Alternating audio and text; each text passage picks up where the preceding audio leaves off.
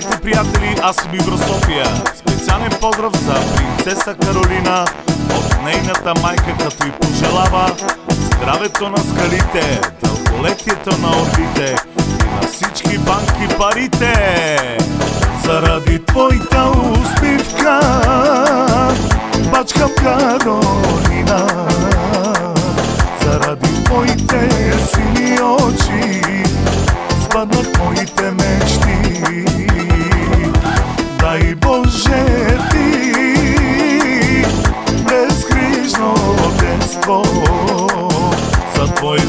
krasivo volice barvi Bije moje to srce. Ovdje building jasman je čajori Vahtali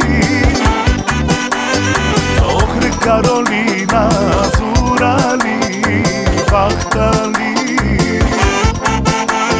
Zaska smeci dojde Moje to momiće Karolina.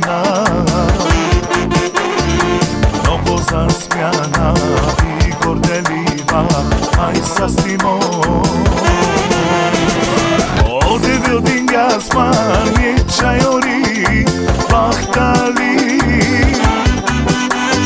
آخری کارولینا زورالی باختالی Zaska smeci dojde, moje to Karolina. Novo zasmjana i gordeljiva, aj sa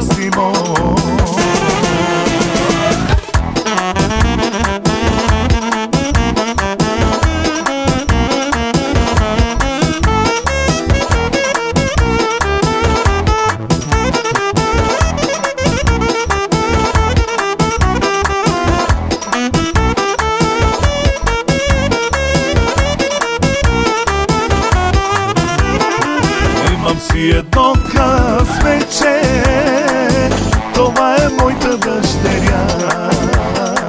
Тя ми е дар от Бога, Каролина всичко на света. На мама и на тати, принцесата,